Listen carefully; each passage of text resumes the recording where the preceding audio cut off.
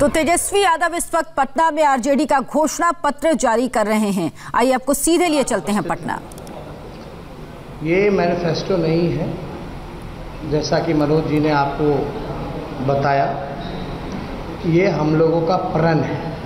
प्रण हमारा संकल्प बदलाव का, जो कि सच होने वाला है।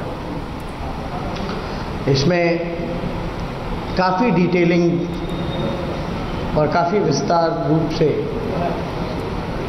हर एक क्षेत्र को लेकर के, हर एक चीज़ों का ध्यान रखने का काम किया है, जिससे हम वाकई में बिहार को खुशहाल, बेहतर, समृद्ध बना सकते हैं। और हमने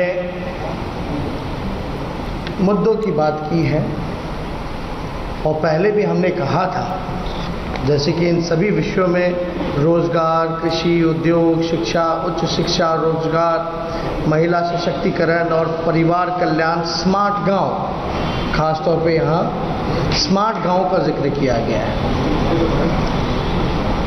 स्वयं सहायता समूह के बारे में है, पंचायती राज संस्थान के बारे में है, सामुदायिक विकास और गरीबी उन्मूलन के बारे में है पशुपालन पशुपालन एवं मत्स्य पालन के बारे में है, स्वास्थ्य सेवाएँ के बारे में है, सरकारी सेवा से जुड़े हुए मुद्दे हैं। बिहार की सांस्कृतिक विरासत और रचनात्मक उद्योग के बारे में इसमें है, खेल नीति हमारी क्या रहेगी?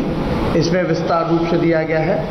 आधारभूत आधारभूत संरचनात्मक विकास के बारे में इसमें ज़िक्र किया गया है। जलवायु परिवर्तन से संबंधित हमारी जो तो तेजस्वी यादव का कहना है कि घोषणा पत्र नहीं, बल्कि ये हमारा प्रण है। फ़िलहाल एक ब्रेक का वक्त है। ब्रेक के बाद देखिए, यूपी के फिरोजाबाद में दिल दहलाने वाली वारदात।